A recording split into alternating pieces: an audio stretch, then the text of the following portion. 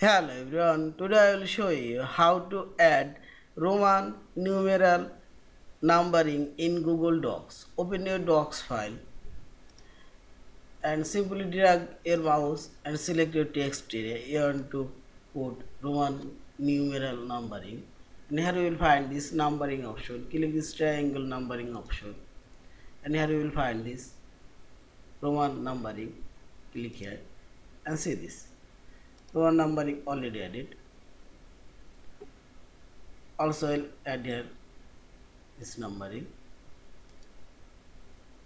here. This is also you can add here sub numbering and see this. Press enter and press tab from your keyboard tab button and see this and press enter again press tab button from your keyboard and see this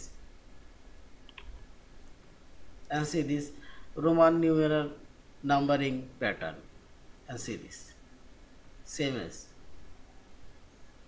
a capital alphabetic numbering and numbering yeah. In this way you can add roman numbering as you like. Yeah. Thank you for watching. Please subscribe like share and comments